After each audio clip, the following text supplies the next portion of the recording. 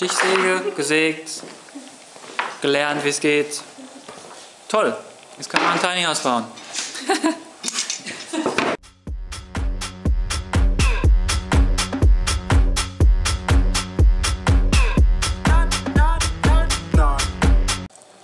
Hallo. Da hinten steht das fertige Tiny House. Klein. Und hier Riesending. 8 Meter oder so. Was wir hier machen? Leute, die, die, äh, die äh,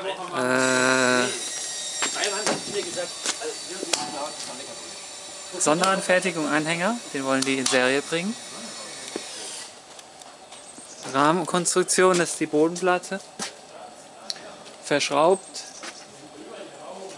Da kommt als Aussteifung hier die Mehrschichtplatte drauf. Davon drei Teile.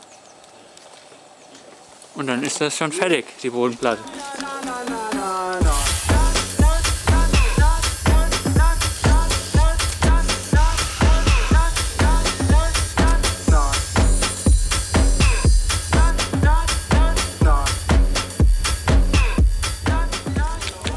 So, was passiert hier?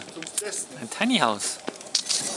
Wir haben jetzt in zweieinhalb Tagen hier im Workshop die Bodenplatte auf den Trailer gebaut, die Wandteile da drin vormontiert und eben aufgestellt.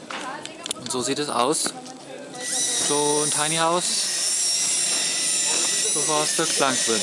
Da kommt jetzt noch die Dachkonstruktion drauf und dann ist es. Ja. Wenn wir ein bisschen dicker machen, dann können wir es auch mit Stroh dämmen.